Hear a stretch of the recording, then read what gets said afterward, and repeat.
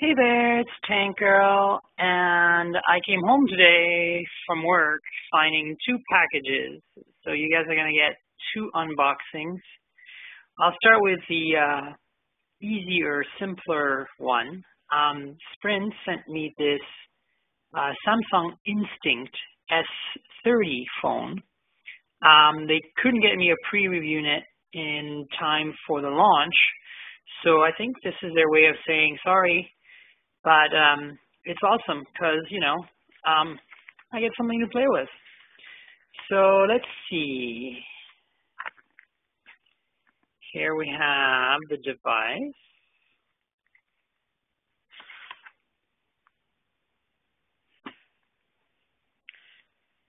It's kind of coppery looking.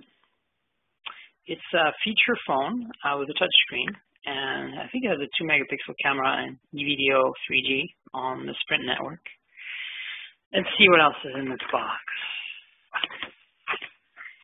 We have a charger with a custom Samsung connector. We have a couple of manuals. Well, actually a whole bundle of them here. Ah, there's an SD card in here as well. Uh, a decent adapter. Probably has an SD, micro SD card inside the adapter as well. And then we have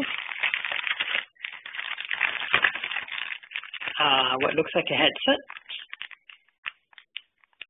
And then we have a USB cable, also with a custom Samsung connector. I wonder if this is the same connector as my Memoir T929, probably is. And that's it. No more of anything in the box. There was a hole for the battery, but I bet you the battery is in the phone.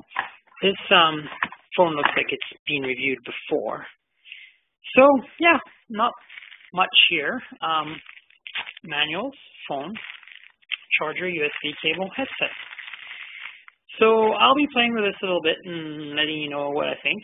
Um, you know that I sometimes cover feature phones, and um, hopefully this will lead to more uh, goodness from the folks at, print, at Sprint going forward. Anyway, that's it for now. Cheers. Uh, check my blog. It's tnkgrl.wordpress.com, and I'll probably be having uh, some pictures of this soon. All right, bye.